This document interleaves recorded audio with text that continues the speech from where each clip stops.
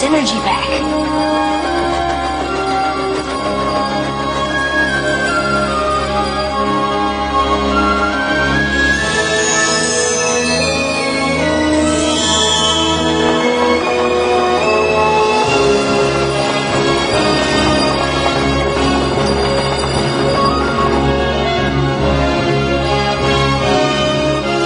Well, my lady, the lights are all green for you now.